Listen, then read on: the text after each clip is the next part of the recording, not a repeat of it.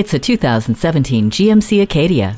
With the slightly smaller body design, it looks like the Acadia skipped dessert. However, the versatile spaciousness treats you by putting more of what you need, more within your reach. Goodies that keep everyone comfortable include the rear floor cargo storage, cruise control, and tri-zone climate control. It has a six-speed automatic transmission with overdrive and StabiliTrak. The connectivity concoction, including Bluetooth, OnStar with Wi-Fi capability, IntelliLink, and a ColorTouch audio system, add the cherry on top of your Sunday drive.